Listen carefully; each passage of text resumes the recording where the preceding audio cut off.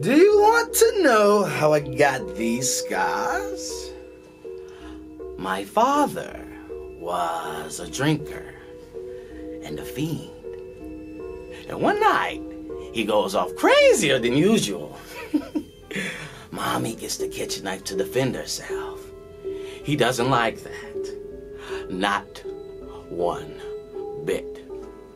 So, with me watching, he walks to her with the knife, laughing while he does it.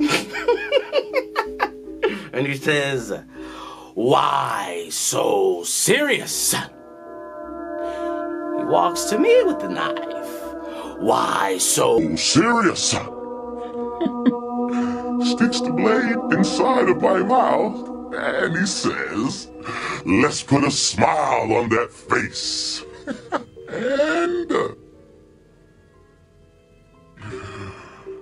so serious?